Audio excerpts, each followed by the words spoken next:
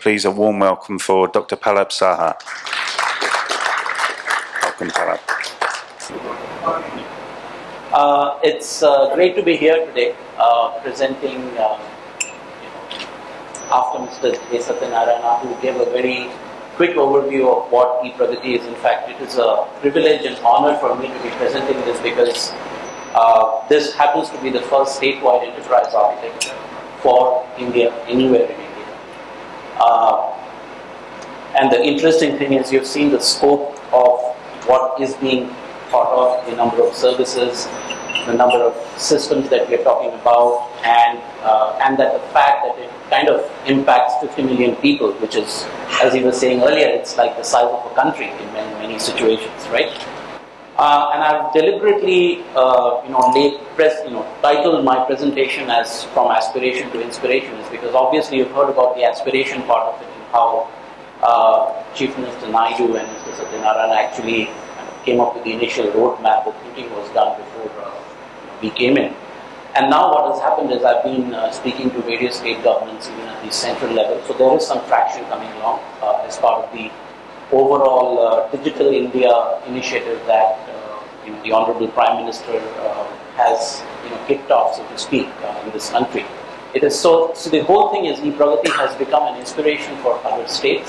But obviously it is important that beyond all the rhetoric that we talk about, we need to understand that it is not easy to do enterprise architecture in the public sector, in the government sector. And uh, I'll kind of uh, highlight some of the key points. And uh, as Steve was introducing me, I have had the privilege of working with many governments around the world and some of them are actually taken as, uh, I would say, benchmarks, uh, you know, in terms of their uh, e-governance maturity, e-governance uh, capability, uh, you know, through various uh, surveys and rankings that, you know, institutions, very respectable institutions like United Nations and the World Health Organization does. So, so what I will do here is obviously all of you are very curious to know what e-Pragati is all about and you have been given kind of a small booklet and CD uh, something that really stands out here is, which I'd like to highlight right up front, is the uh, the Honorable Chief Minister when he launched the e-Pragati in, um, in uh, Vishakhapatnam a few months back, that was in October, he's on record to say that the state, AP state, is very, very willing to share all the experience with other states, which is very, very unique because it's important that uh, as as part of the open group, we also, uh, you know, so, so, what I've seen here is as a result of e-Pragati, the entire profession of enterprise architecture, you know, some of you probably are in that, you know, in your respective organizations, has been elevated. People now know what enterprise architects do because one of the questions, I'm sure many of you have faced that, people ask, what do enterprise architects actually do? I mean, it's okay to have certification and all that stuff, right? So this is what they do. I mean, what you're seeing here, and me and my, you know, the team, two couple of team members are going to take you through some uh, deep dive sessions later on, and we have a panel discussion. So all the questions are, uh, you know, will be you'll be free to ask some questions. And uh, as I said, e-Pragati is uh, an example for digital government. It has to succeed. Uh, it's important because other states are watching. The center is watching. It's absolutely essential. And as uh, Mr. Satyanarayana was saying, this is not about information technology alone. It's important. Information technology is important. We know that today every organization effectively is a technology organization. Everybody uses technology. Uh, and you will see some data later on. But, uh, you know, as to his credit, I, I mean, to Mr. Satyanarayana's credit, you have to understand that a lot of people think that when you talk of enterprise architecture, it has to be quote unquote only limited to the IT department. He has actually been speaking to the planning commission, right? That is where it needs to go in because people have to understand enterprise architecture is the big picture planning methodology which can help you execute your strategy. So if you're speaking to the planning commission as an example, you're talking to the right people. That's the message which is very important and I think the credit definitely goes to him. So let me set the context. I think some of these uh, areas have been covered, but I'll kind of formalize it in terms of how governments across the world are uh, thinking. And uh, you, what you see uh, is how governments are now at this point. They tend to be very hierarchical. Nothing specific to any state or any country because given my experience in other countries, I've kind of summarized and synthesized some of the findings. They tend to be very rigid typically, you know, the government services are offered through single channels or few channels, and then, you know, there is always an issue of which channel is better in terms of providing certain services, because you always have the rural-urban divide where the rural area and maybe some of the senior citizens have probably never used technology. So the, some of those issues come up. Uh, most citizens tend to, you know, view government as input-oriented, very closed, and typically as a citizen you end up becoming a spectator, right? You really don't contribute much to the process of governance. Versus the next generation government, I'm not going to, you know, prove a uh, provide a version number or so, but the next generation government, as, you as has been spoken about earlier, tends to be more network, more collaborative, more flexible. It's important because citizens are demanding it. I'll show you some data later on. Uh, it is definitely providing, trying to provide certain services using multiple channels, becoming more transparent, more outcome driven, and also because people are trying to, wanting to participate in the process of governance itself you will see that some of the issues that have come up in terms of co-creating certain services along with the people. So the government and people actually are partnering, providing some of the services because it's what people are demanding. And the good thing is because of the technology maturity, some of this is being enabled and facilitated by technology. And that's where enterprise architecture makes a plays a big, big role in making that transition from current way of governance to you know the future government. And he was talking about future proofing right? So this is, it kind of sets the context. However, to make this happen, there are few things that governments around the world have to bring in. Number one is they have to move from departmental stovepipes to becoming more citizen-centric.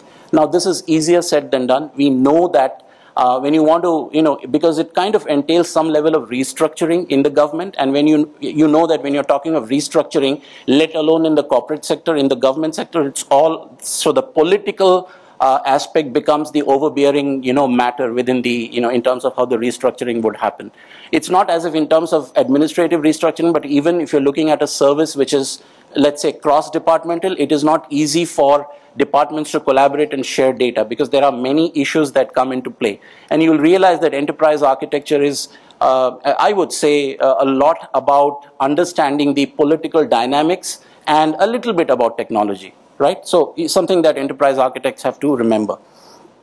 This therefore requires uh, transformation and integration of the back office operations, very important, and that has been highlighted in the previous presentation already.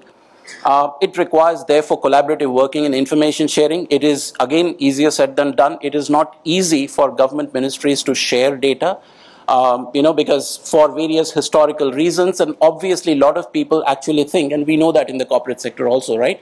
Information sharing, once you start sharing your data and information, you quote unquote lose your power, right? So that mental model exists in people. This is a human behavior, nothing specific to India. It's very common in any, any other country.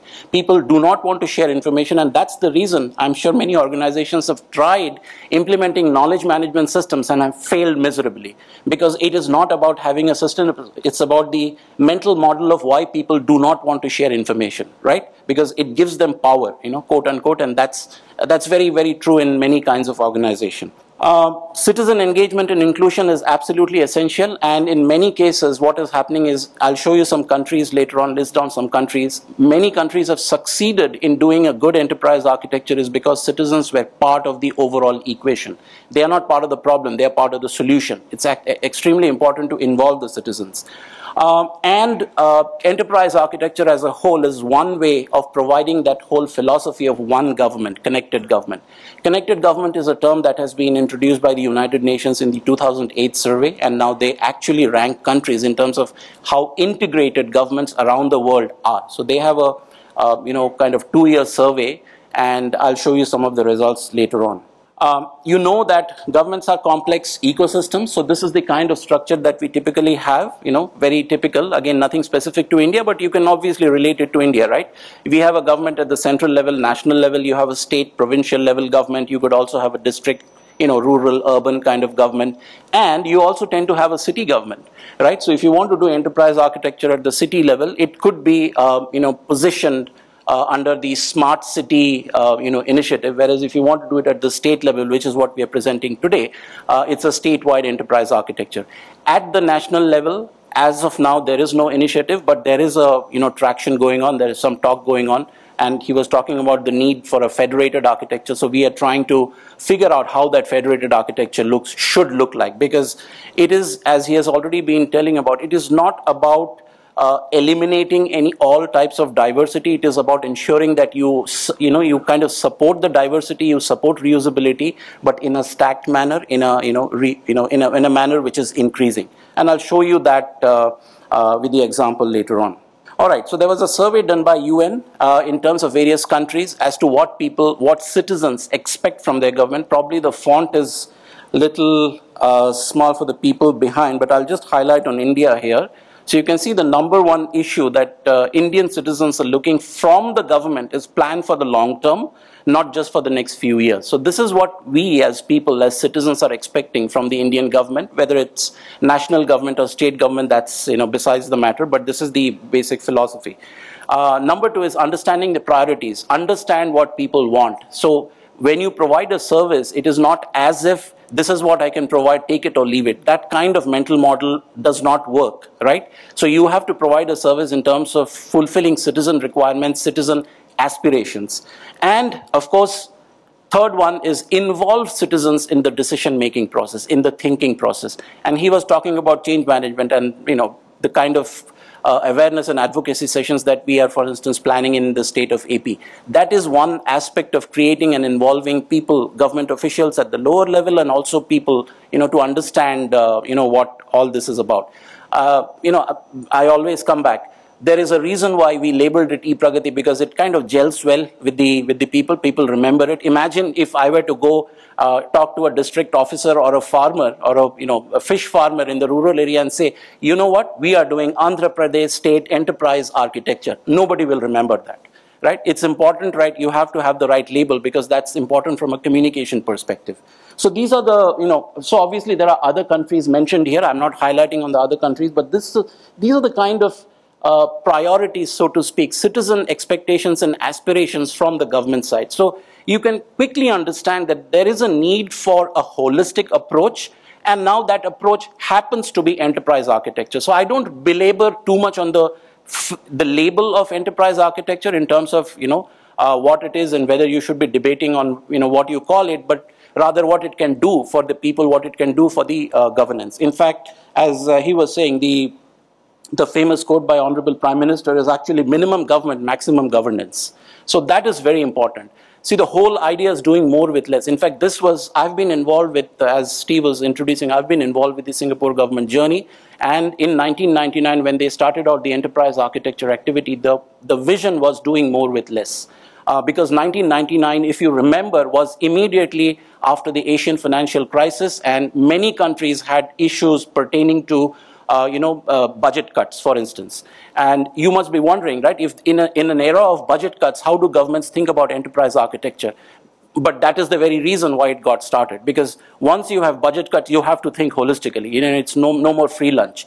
And i'm starting to see that in middle east because you can imagine the, the way oil prices are going down. Many countries many governments in the middle east actually don't have, have a budget deficit and they're using enterprise architecture as a way to reduce the overall uh, size of the government but still providing all the services that, that the citizens need all right, so here is a survey uh, done by the uh, World Bank, and this shows you the adoption of digital technologies by businesses, so corporate businesses, by people, citizens, and by government.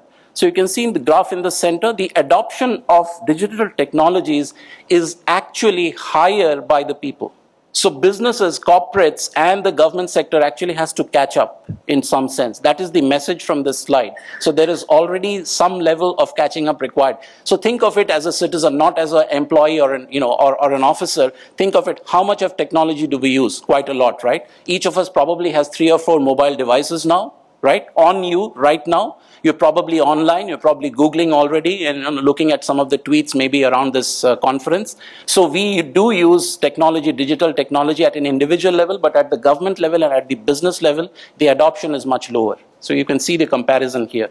So that's where the overall, uh, you know, use of information technology to consume, use of uh, enterprise architecture to consume information technology becomes more and more important. This is the journey of e-governance in India. So it kind of gives you the highlight. So as you see, it started sometime in the, uh, you know, uh, mid 70s and all the way up to 2014, which is currently uh, under the initiative of Digital India. So the whole idea is it has been going on. Computerization and adoption of uh, information technology for government services has been going on. Uh, there have been lots of successful projects. Aadhaar is a great successful project. The railway reservation system is a great project. Passport is a great project. Uh, however, it could be better because uh, technically you do know that, uh, I'm not sure how many of you know, but I'll tell you, you could actually get a passport in 20 minutes uh, if two ministries had collaborating data. It is not a technology issue, it's just two ministries not sharing data. So he was talking about the you know, sharing of data.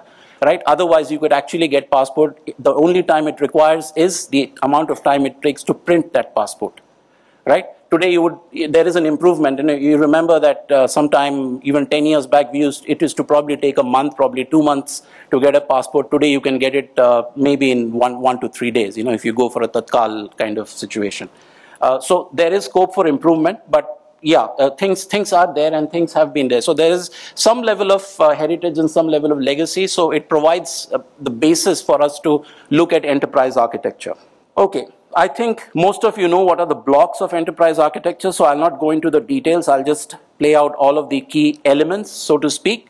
One thing you would typically see missing in many of the frameworks is the need for a policy and strategy ar architecture. Personally, I see that as an absolute essential imperative element for uh, you know um, enterprise architecture because this is where you get the overall vision, the overall uh, direction uh, and the guidance for doing the rest of the stuff. So business architecture here is the more operational aspect of the business. So that's where you provide the services and the processes, so on and so forth enabled by the three layers of technology. However, as you see, this looks like a house, which means a house will only be uh, strong if it has a, a strong uh, you know, foundation of governance and management. So I'll not go into the details of each of this, but you will see the definition of each of these layers is in a very non-technical terms. For instance, business architecture, it's the reason we do what we do, the people we serve and the outcomes we seek. You know, you may have seen very uh, you know, a very flowery English language definition of each of these areas, but I prefer to use a very simple definition because this is something that, you know, stays with the people that you're communicating with. Remember that in most cases when you're talking about enterprise architecture, your audience may be tech savvy, but they may not belong to the IT department, right? So it's important uh, as, as an architect, as a profession, as a profession, you need to be understanding that you have to communicate to people who do not belong to IT department but may be tech savvy in terms of using technology to solve business problems. Okay, so this is important from a professional point of view, and I've done that, and uh, I can tell you people understand. If you use the right language, right, uh, you know, uh, labels, people do understand the value of uh, uh, information technology. In fact, at this point, we are talking to a couple of business schools to introduce enterprise architecture as a subject in their curriculum. Uh, it's very interesting that the consulting companies, all consulting companies, I'm not focusing on Wipro or any other specific organization, have a very strong enterprise architecture practice, but at the education level, formal education level, there is nothing. You will have certifications like TOGAF and a few other certifications, but there is no formal education going on in India at this point. So it is definitely a big gap, right? So this is something that we are also trying to address. So government enterprise architecture, which is the focus of the session this morning, is a mission-focused approach and a framework to galvanize pan-government ecosystem. So this is government as a single entity, which has already been highlighted in the previous presentation.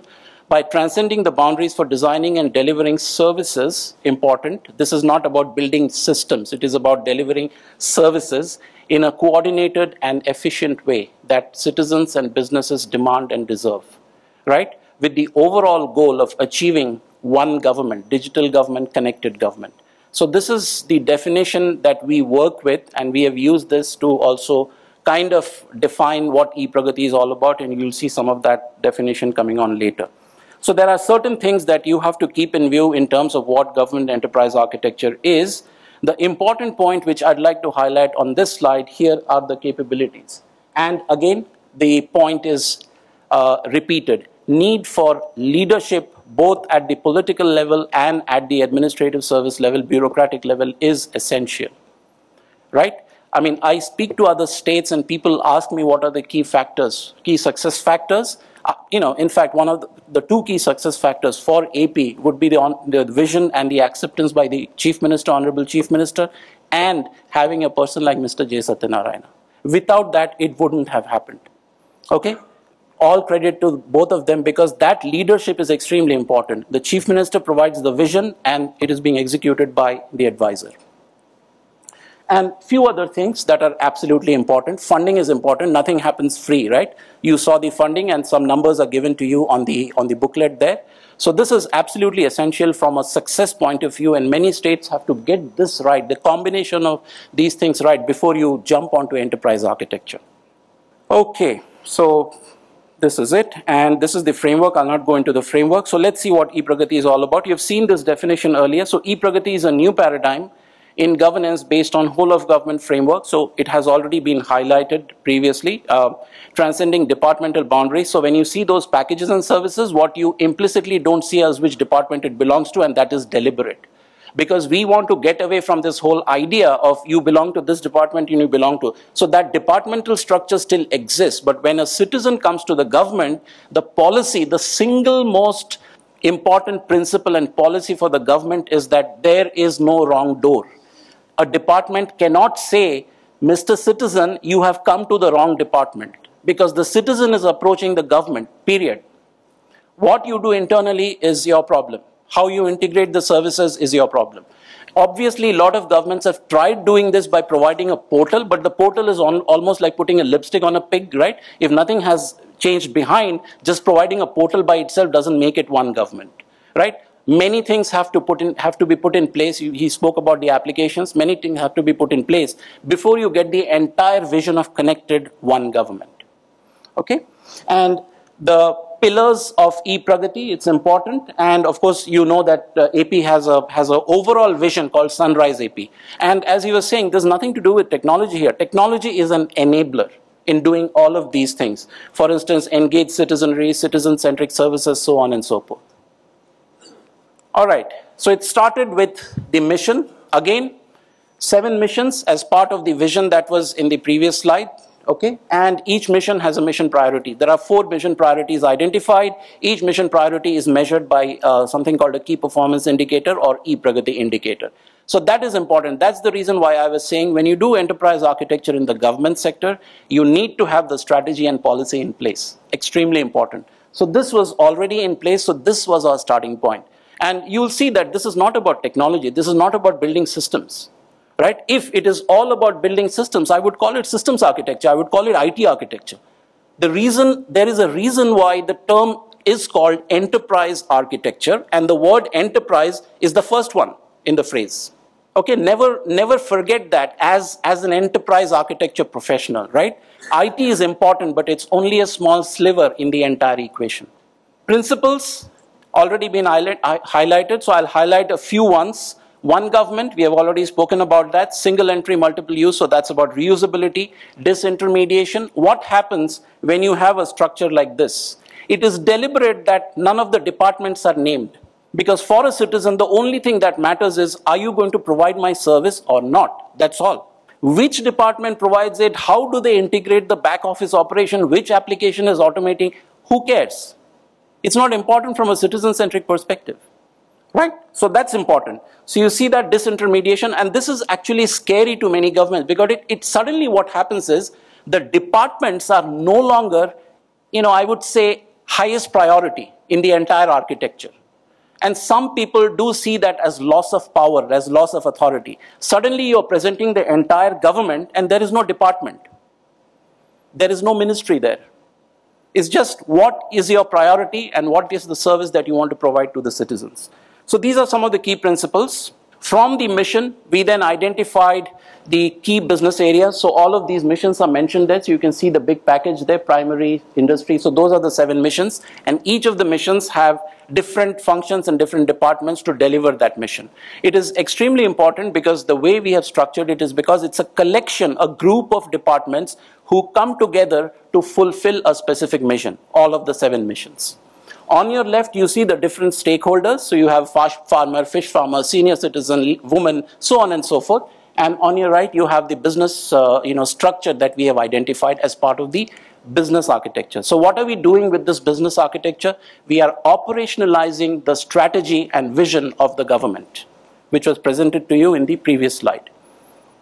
Now to automate these business functions, to automate these business processes, you definitely need technology. I'm not saying technology is not important, position it as an enabler, and therefore starts the data aspect.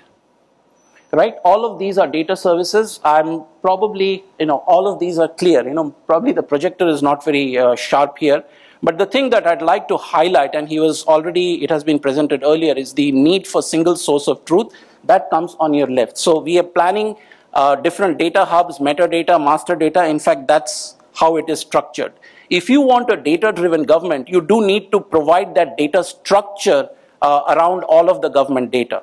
So you need to understand what the metadata structure is. You need to create a, you know, a framework for master data. You need to create certain data hubs because they become your archive for the entire government. The important thing is if you don't have this in place, none of those business services that we identified in the business architecture will be automated. How do you collaborate when there is no single source of truth?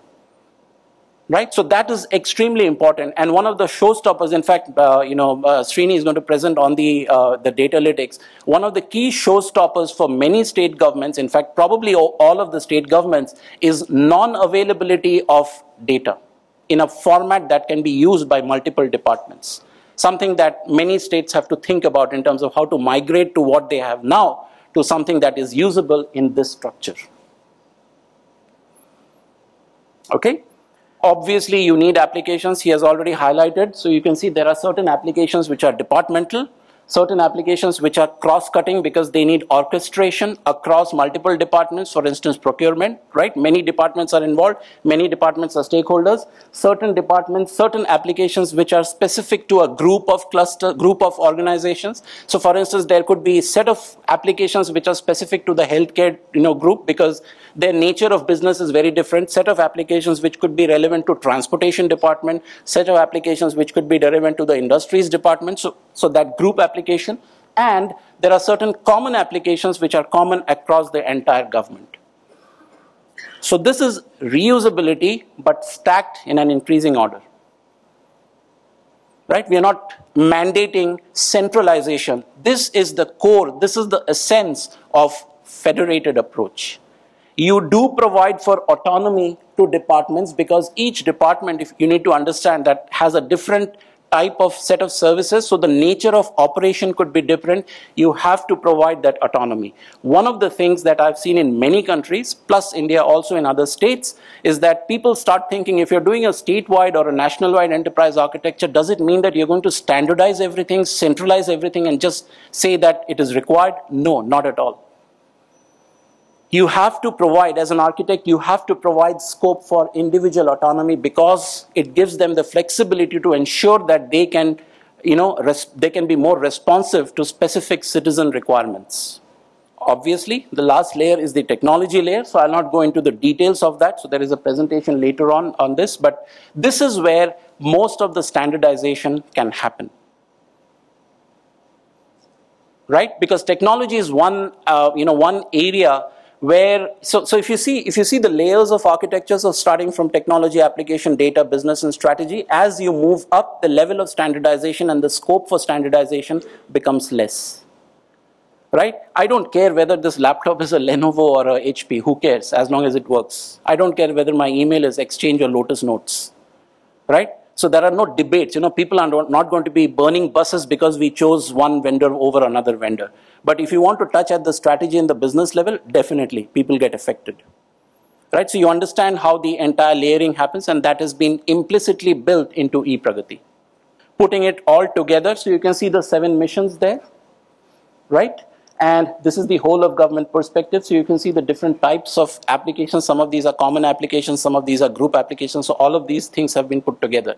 One thing that is important that is putting, that is keeping all of these things together is the, is the layer on, on your left that is e-highway. Basically, it's a service bus which connects all the applications. Okay, now there are certain components which are going to be elaborated in the subsequent two presentations. So as deep dive sessions, so I'm not going, going into the details of that. But I'd like to highlight one thing. Some of these things are pretty game changers. Right? So for instance, the need for certificates. Completely eliminate the need for certificates.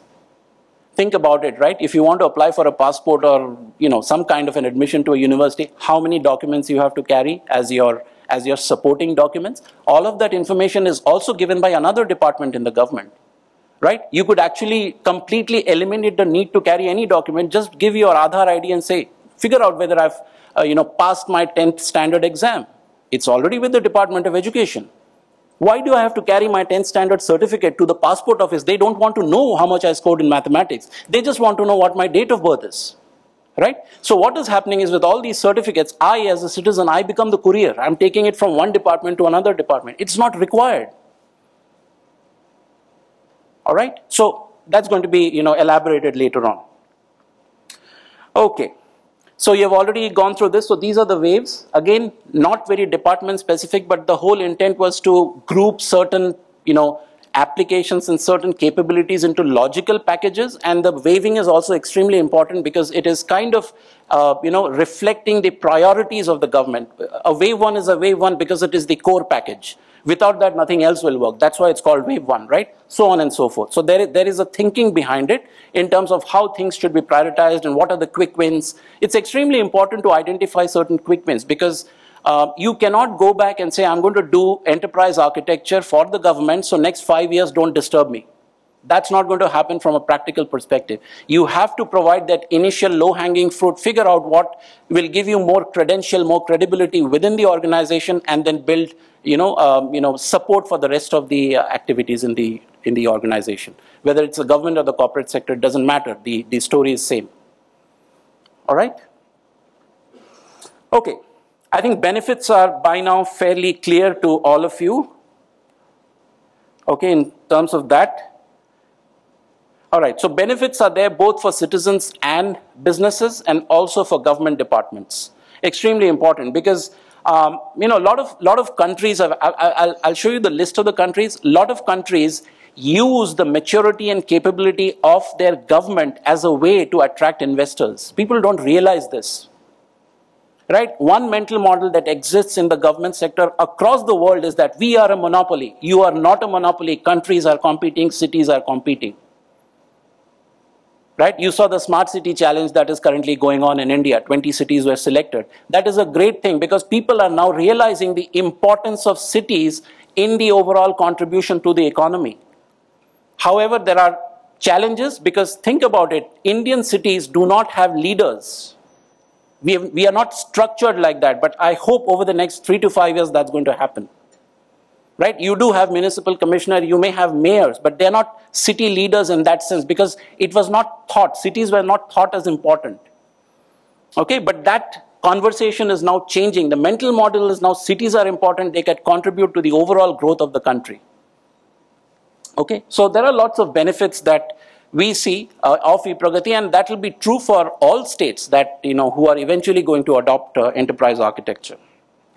So why did it work? Right? Obviously, there's a lot more work to do, but I'll just kind of highlight the few things. So this is the overall approach or the methodology. Why did it work? Number one, it has already been highlighted by uh, Mr. Satyanarayana earlier. The vision and purpose was absolutely clear. Leadership, very important. Mission, I've shown you the mission. They are I would say, uh, inspired by the Sustainable Development Goals. Some of the KPIs are actually aligning to the SDG of the United Nations. Remember, one of the vision statement was uh, AP will be a developed state by 2029. That is the kind of vision you need. I would expect Digital India to say we should be in the top 10. If, if you can send a mission to Mars, why can't you be in the top 10 in the ranking? So we need to aspire better as a country, as a state, as a country. Okay? Third, obviously there is a thinking process. So architecture is executing that vision and mission, so which is what we are going through. Fourth, you need funding and resources, $350 million, you just heard about it. And obviously now it is a you know, legend that how quickly that money was uh, you know, uh, sanctioned, so to speak. And finally, you need leadership in the center. These are the five critical success factors without which no government should, if you're not confident of this, you should not do enterprise architecture. It'll be hard for you to sustain it. It'll end up becoming an academic exercise which will come up with a big report or a blueprint and beyond that nothing will happen. Architecture is done because you want to implement it. Think about it. You're building a house, the architect has given you a blueprint, but then you don't actually build the house. What's the value of that blueprint? Nothing. Right? And the other thing that the open group is trying to do is make enterprise architecture a profession. It, it should be a profession, in my view, like any other profession, you know, medicine, law. What does that mean? It gives us authority, but it comes with accountability. If you sign on that architecture, you're accountable for what, if anything goes wrong. That's what civil engineers do, right? If you sign on a blueprint of a building or a bridge or a flyover, you are accountable for that. Right? I've, I've known architects who are scared to play that role. And you want to play the role of an advisor, which is good, but you need to go beyond advisor. You have to get to the implementation uh, and operationalizing aspect as, as a professional. All right. What does this truly mean? In a picture, this is what it means. The departments are not going to go away anywhere. It's the way it has been positioned. The services, cross-cutting services, you have common services, you have group services, you have departmental services. Some observations which I have actually gathered. This is not specific to AP or any state. I've gathered from uh, many states. Uh, very interesting, which, you know, in our analysis, you, we also see the, you know, the whole idea of conflicting KPIs. So there's one department which will be saying that it's not good to smoke and drink, right? Whereas the revenue department will be looking for revenue from uh, tobacco and liquor. So you can see that there is already a dichotomy in terms of how the KPIs are conflicting. So when we did the analysis, all of these things actually came out. So when he was talking about the 745 services and the KPIs for that, all of these things were interesting findings in my view. Okay. So EA is a strategy and what this slide shows you is how governments around the world have used enterprise architecture to improve their e-government maturity. So those maturity levels are actually defined by United Nations. This is not our invention. Right? So if countries have moved from, let's say, web presence to connected government, they have used enterprise architecture to make that transition. Because at this level, government operates and appears as one. So the whole idea of one government. And you cannot have that if you don't have the holistic planning approach, which happens to be enterprise architecture. Okay. One thing I'd like to highlight is the need for integration.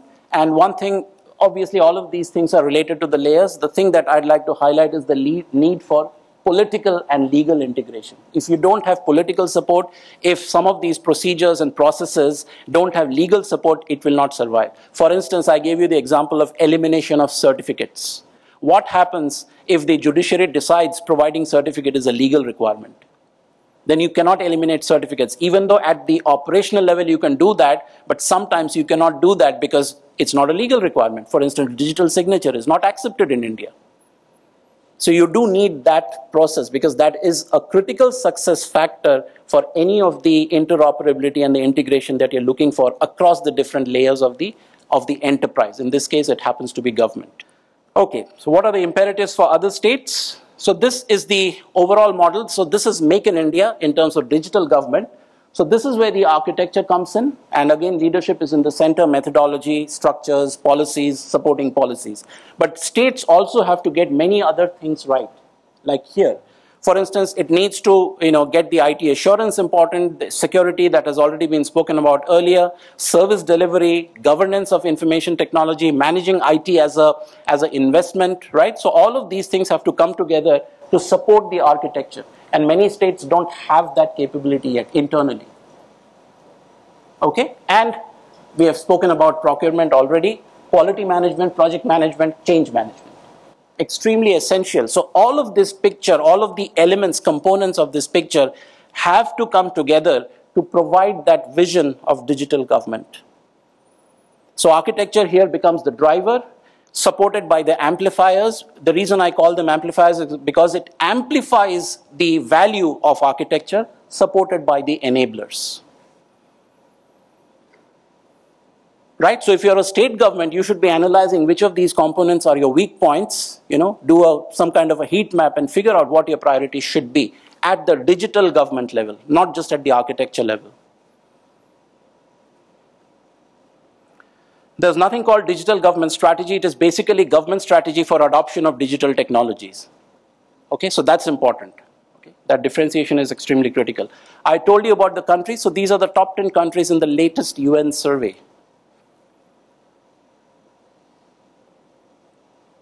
Okay, in terms of e-government maturity and adoption of digital technologies for citizen services. Okay, a lot of you people probably don't know, six out of these 10 countries have enterprise architecture as a legal mandate, which means, for instance, US is an example, which means a federal agency has to have its agency enterprise architecture as a legal document. Just like companies need to have a quarterly and an annual report, right? If you're a public company, it is a legal requirement. It's a mandated requirement. It's a legislation. This is the kind of seriousness they provide to enterprise architecture. And to repeat and re-emphasize my point, we have to be aspire in the top league. This is what I would like to see Digital India say. We need to be in the top 50, maybe over the next three years, and maybe over the next, you know, five to seven or 10 years, you have to be in the top 10. So that, that goal is extremely important. Otherwise, you know, there's a lot of rhetoric going on, vendors coming and talking about beautiful slides and nothing going around that. And you need to have that. And this needs to transcend political parties because this is in national interest. I'll highlight this and this will also give you a lot of food for thought for the panel discussion having said all this, government enterprise architecture in the, you know, in, in, in many countries, it's hard. Okay, let me highlight some points. In the government departments, you have to find who the champion is going to be. I've given you some examples, right? Leadership is extremely important for any country, any type of government, you know, government enterprise architecture. I've spoken about lack of, uh, you know, education, formal education that is highlighted. So what will happen is when you go and talk about government enterprise architecture to any audience outside of the kind of the audience that we have here, they don't know what it is, right? So don't assume that they know what enterprise architecture is and everybody knows about the certification. No, they don't know. You have to tell them what it can do for them.